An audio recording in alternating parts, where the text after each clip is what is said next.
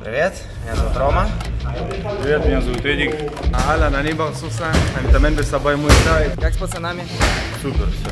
Все доб- доброжелательные, все классно.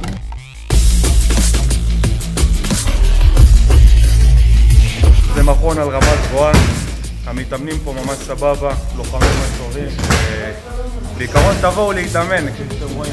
כל אחד אה, פה לוחם גבוה. כמה זמן אתה מתאמן אצל מיכה? אני מתאמן אצל מישה יותר- קצת יותר משנה. אוקיי, אתה מרגיש שיפור? זה זה משנה? מרגיש שיפור, והייתי מתאמן גם בג'יסו וזה, ואני יודע איך זה להכיר מאמנים.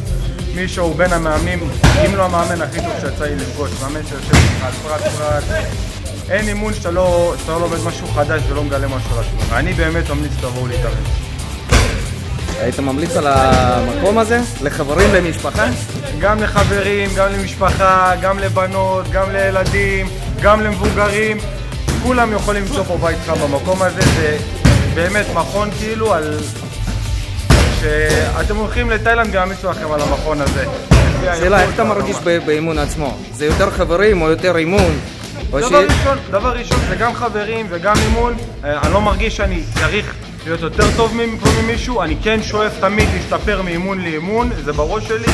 אחרי הכל כולם פה קבוצה אחת וכולם דואגים שהאחר ישתפר ולא מחפשים כאילו, מחפשים ליהנות ולהתמקצע. פה כולם חדשים או כולם ותיקים? איך זה הולך? אה, יש פה גם ותיקים וגם חדשים. אה, בעיקרון, אלה שבאים מוצאים את עצמם פה אחרי הרבה זמן. אה, אני אישית נורא חושב ש...